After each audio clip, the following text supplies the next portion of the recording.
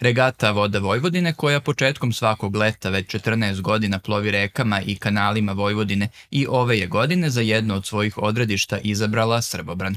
Više od 90 plovila i 250 učesnika krenulo je Dunavom i Tisom i kod Bečaja uplovilo u Veliki Bački kanal.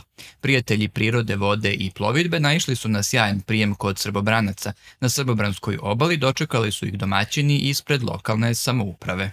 Želim da se zahvalim vodama Vojvodine, svim učesnicima u ovogodišnjoj regati, našim dragim gostima što su evo ponovo izabrali Srbobran za jednu od svojih destinacija i za svoje odredište u ovoj godini kao što su to radili u prethodnim godinama.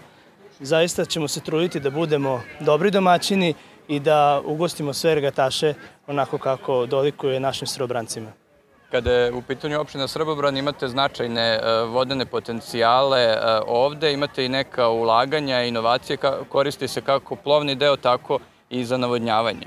Nama je veoma važno da ulažemo u razvoj poljoprivredne proizvodnje i zbog toga je od izuzetno značaja to što su vode Vojvodine pokrenule projekat spajanja Velikog Bačkog kanala i reke Krive koji će omogućiti za 10.000 hektara gotovo navodnjavanje što je od suštinskog značaja za našu opštinu, s obzirom da je razvoj poljoprivrede i uopšte poljoprivredna proizvodnja jedna od privrednih grana koja je za nas od e, krucijalnog značaja i to nije jedina stvar koja je povezana sa investicijama, a da su u vezi sa vodnim, e, vodnim površinama, sa vodnim tokovima u, u našoj opštini. Takođe, evo, nedaleko odavde se nalazi objekat hotela, nekadašnjeg hotela Elan, koji je trenutno u rekonstrukciji koji će biti zaista jedan biser na teritoriji naše opštine nakon završetka te rekonstrukcije.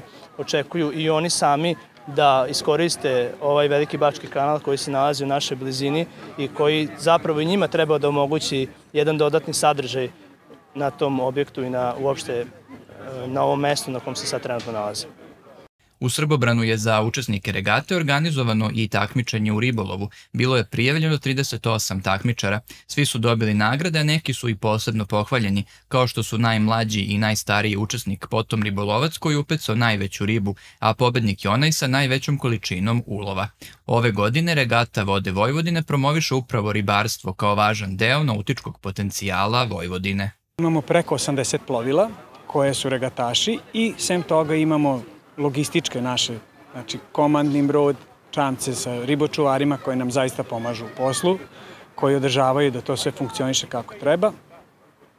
Regataši su, vidim, po njihovom raspoloženju izuzetno zadovoljni, vreme nas je služilo, na Dunavu i na Tisi su uslovi bili malko teži nego inače, ali uopšte nisam osetio strah, kod regataša imali su nekako avanturistički duh i stvarno su nam pokazali sve ono što treba znanje i sposobnost da pređemo u kanale. Koliko smo razumeli ove godine poseban je neki osvrt dat na, na riblji fond i na ribarstvo.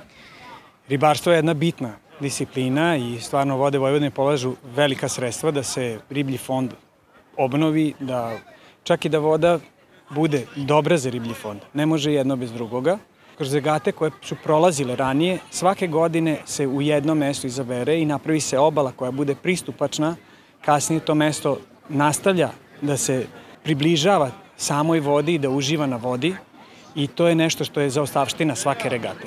Ono što se vidi sada, a u samom sistemu još postoje kanali koji se u njih ulivaju, koji su manji, to su ogromne dužine, recimo da kažem 20.000 km dužnih ima kanalske mreže koja je pod, ovom, pod ovim sistemima i koja se uliva u velike OKM kanale. OKM kanalima plovimo, pecamo i saživljavamo se. Ona služi i za e, nautiku. Što se tiče komercijalne nautike, tu bih hteo da kažem da barže mogu da idu mnogo ekonomičnije nego što se ide asfaltnim putevima. Znači, umesto kamiona da se ide baržama, uz blaga prevođenja, e, velike količine tereta mogu da se prenesu i to bi po meni bio jedan dobar put da na neki fin ekološki način mi malo oslobodimo puteve i da pređemo malo na kanalsku mrežu da se koristi. Nakon Srbobrana regataši će posetiti još nekoliko mesta duž planirane trase. To su Ruski krstur Karavukovo i Bačka Palanka. Dunavom se zatim vraćaju u Novi Sad na početno odredište gde će obeležiti Međunarodni dan Dunava.